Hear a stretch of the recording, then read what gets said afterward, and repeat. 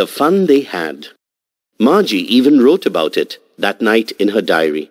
On the page headed May 17, 2157, she wrote, Today, Tommy found a real book. It was a very old book. Margie's grandfather once said that when he was a little boy, his grandfather told him that there was a time when all stories were printed on paper. They turned the pages, which were yellow and crinkly, and it was awfully funny to read words that stood still instead of moving the way they were supposed to on a screen, you know. And then, when they turned back to the page before, it had the same words on it that it had had when they read it the first time.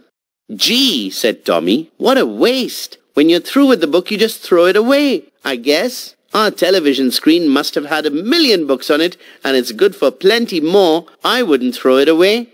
Same with me, said Margie. She was eleven and hadn't read as many telebooks as Tommy had. He was thirteen. She said, Where did you find it? In my house in the attic. He pointed without looking because he was busy reading. What's it about? School. Margie always hated school, but now she hated it more than ever.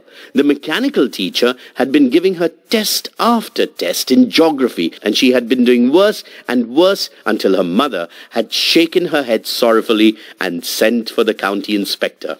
He was a round little man with a red face and a box of tools with dials and wires. He smiled at Margie and gave her an apple, then took the teacher apart. Margie had hoped he wouldn't know how to put it together again. After an hour or so, there it was again, large and black and ugly, with a big screen on which the lessons were shown and the questions were asked. This wasn't so bad. The part Margie hated most was the slot where she had to put homework and test papers.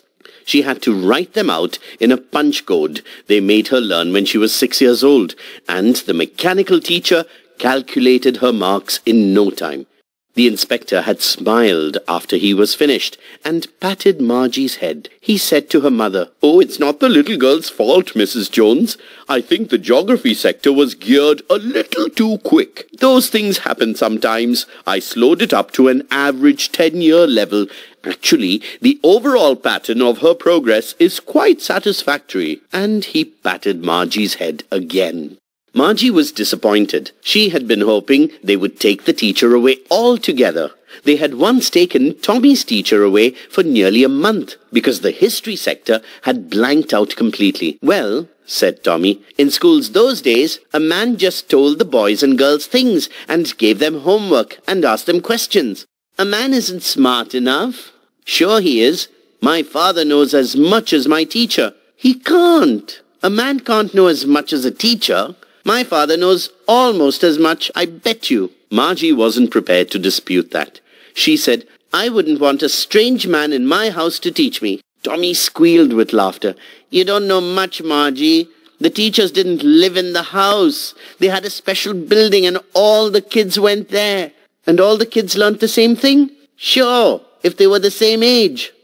But my mother says a teacher has to be adjusted to fit the mind of each boy and girl it teaches, and that each kid has to be taught differently. Just the same, they didn't do it that way then. If you don't like it, you don't have to read the book. I didn't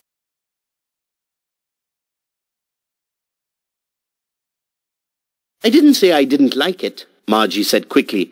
She wanted to read about those funny schools. They weren't even half finished when Margie's mother called out, Margie, school! Margie looked up. Not yet, Mama. Now, said Mrs. Jones, and it's probably time for Tommy too. Margie said to Tommy, Can I read the book some more with you after school? Maybe, he said nonchalantly. He walked away whistling, the dusty old book tucked beneath his arm. Margie went into the schoolroom. It was right next to her bedroom, and the mechanical teacher was on and waiting for her. It was always on at the same time every day except Saturday and Sunday, because her mother said little girls learnt better if they learnt at regular hours. The screen was lit up, and it said, Today's arithmetic lesson is on the addition of proper fractions. Please insert yesterday's homework in the proper slot.